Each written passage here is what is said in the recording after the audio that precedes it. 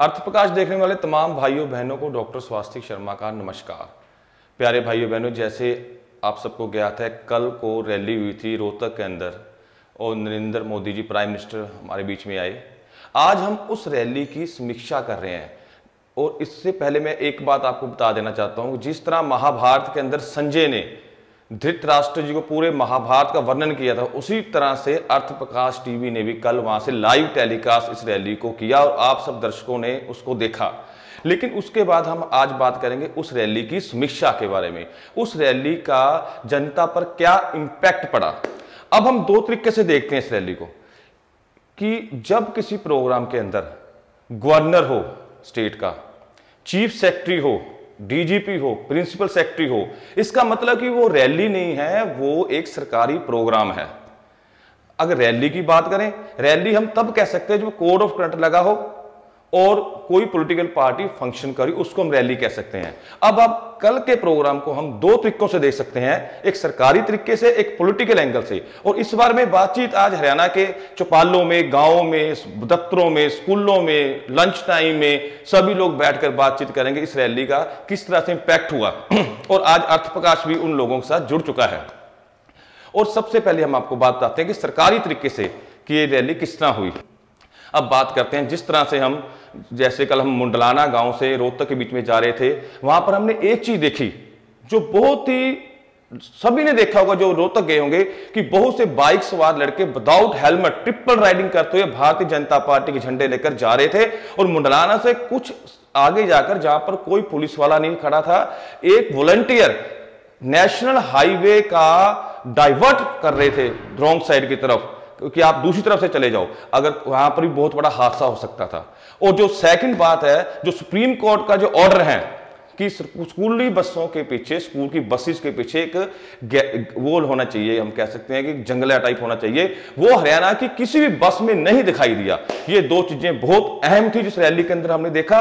और अब दूसरी बात हम ये भी नहीं कह सकते, एक तरफ़ जब इतना बड़ा फ़ंक्शन ऑर्गेनाइज सरकार करती है, कुछ ना कुछ खामियाँ रह जाती हैं। ये खामियाँ उसके अंदर हम इंक्लूड कर सकते हैं। और जो सेकेंडरी बात है कि वहाँ पर वो भी कर्मचारी थे जो धूप के अंदर ह्यूमिडिटी वाली धूप के अंदर इतनी गर्मी में खड़ कर, चाहे एसपी हो रो रोहतक, चाहे डीएसपी हो, चाहे आईजी रेंज के हो, चाहे सरकारी मुलाजम हो, उन सभी ने बड़ी मुस्तैदी के साथ ये प्रोग्राम और सफल करने में अपनी पूरी क्षमता दिखाई। वो सब बधाई के पात्र हैं। और इसकी बात, एक बात आपसे और करना चाहूँगा कि रैली टोटली इको फ्रेंडली थी। आपने कल फुटेज देखे होंगे दूसरे चैनलों में कि उस रैली के अंदर कोई बीड़ी सिगरेट प्लास्टिक की कोई चीज़, किसी चीज़ का यूज़ नहीं हुआ।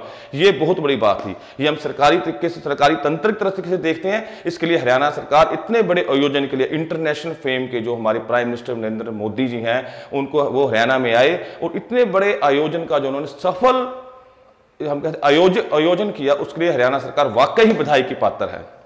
अब हम आगे चलते हैं। और सबसे बड़ी बात, एक और कहना चाहता हूँ प्राइम मिनिस्टर नरेंद्र मोदी ने अपने भाषण के अंदर कोई भी इतनी पॉलिटिकल बात नहीं की, अपनी बात पूरी कंसंट्रेट कंसंट्रेट की अपनी सौ दिन की सरकार की उपलब्धियों के बारे में और हरियाणा सरकार की उपलब्धियों के बारे में। हरियाणा सरकार ने पाँच साल में किस तरह से नई दिशा प्रदान की हरियाणा स्टेट को, उसके बारे में उन्होंने बताया।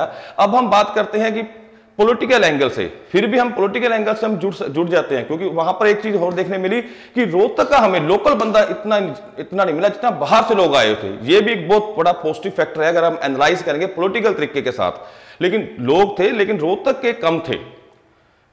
और दूसरी जगह से लोग आए थे।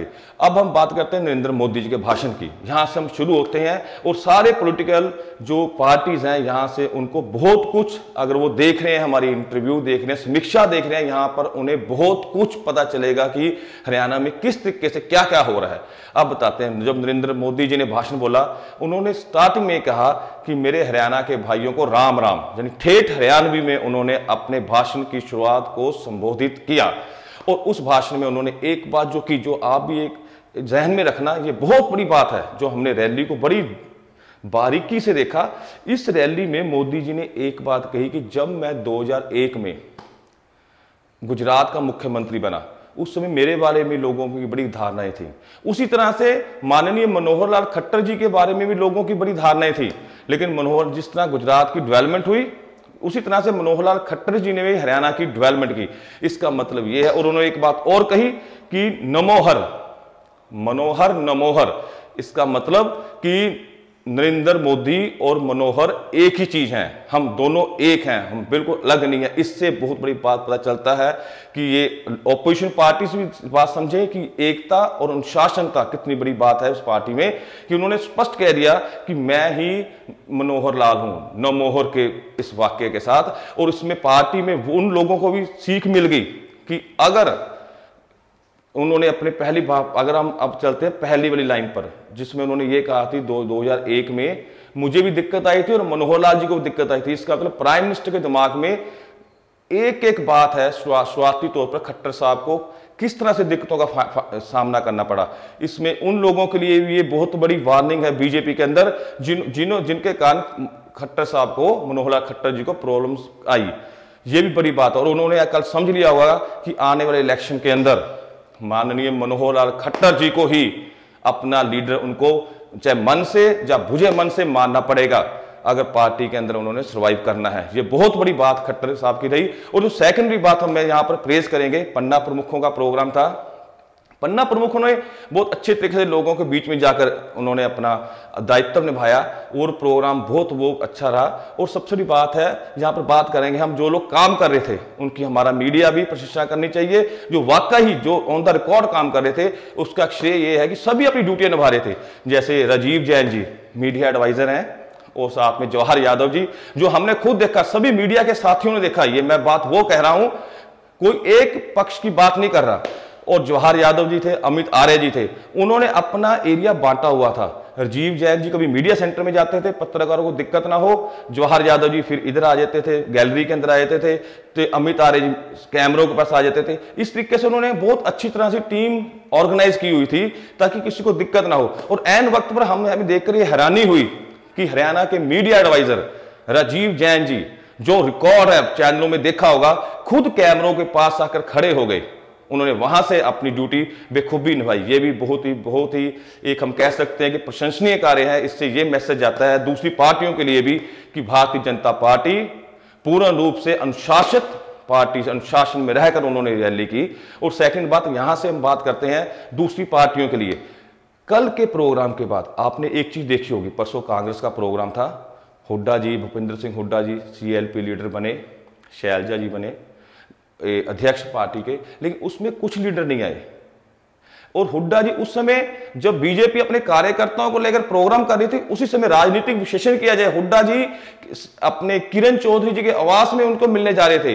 अब अब कल की रैली के बाद ये कांग्रेस को पता चल पता चल जाना चाहिए कि कांग्रेस को अब लीडर्स की ज़रूरत नहीं है, कार्यकर्ताओं की ज़रूरत है। इसलिए उनको कार्यकर्ताओं के बीच में जल्दी से जल्दी जाना चाहिए। तभी वो अगले इलेक्शन में चुनौती बन सकते हैं इस भारतीय जनता पार्टी के लिए। और यही बात आईएनएलडी और जजपा के लिए भी है कि अगर आईएनएलडी जजपा इकट्ठे हो जाए, तभी ये आने वाले युद्ध के अंदर भारतीय जनता पार्टी को चुनौती दे सकते हैं। अगर ये कुछ नहीं हुआ तो अगला इलेक्शन ये ना हो कि एक तरफा ही हो जाए, जो माहौल है हरियाणा का, एक तरफा इलेक्शन हो सकता है। ये पूरी रिपोर्ट्स थी जो हमने आपको आप बीच में दी है और इस यही कंक्लूजन हरियाणा के लोगों के मन में भी है। इलेक्शन हर हर पार्टी कहती है कि पॉलिटिकल इलेक्शन हो, जिसमें विपक्ष भी आए, लेकिन विपक्ष को इस वक्त कल की रैली से यही सीख लेनी चाहिए कि हमें एक होना पड़ेगा। चाहे कांग्रेस है, चाहे जजपा है, चाहे आईएनएलडी, अगर मुकाबला करना है, आने वाले युद्ध का, महासंग्राम का, जो बहुत ही जल्दी हरियाणा के अंदर होने वाला है, नहीं तो ऐसा ना हो कि भारतीय जनता पार्टी दोबारा से फिर सत्ता पे काबू, काबिज हो जाए और विपक्ष को विधानसभा के अंदर विपक्ष की सीटों पर बैठने के लिए मजबूर होना पड़े। ये एक्सक्लूसिव रिपोर्ट थी हमारी कल की, विजय संकल्प रैली की। डॉक्टर स्वास्तिक शर्मा। ताज़ा अपडेट्स के लिए अर्थ प्रकाश टीवी को सब्सक्राइब करें और बेल आइकन को प्रेस करें।